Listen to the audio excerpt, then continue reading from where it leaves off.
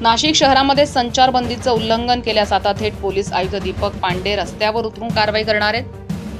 जहान सर्कलवर पोलीस आयुक्तांकडून पाहणी करण्यात आली यावेळी इथे पोलीस आयुक्त दीपक पांडे यांसह पोलीस उपायुक्त अमोल तांबे यांच्या मार्गदर्शनाखाली वरिष्ठ पोलीस निरीक्षक अंचल मुदगल यांच्या टीमसह संचारबंदीच्या नियमांचं उल्लंघन केल्यानं अनेक बाईक चालकांवर धडाकेबाज कारवाई करण्यात आली.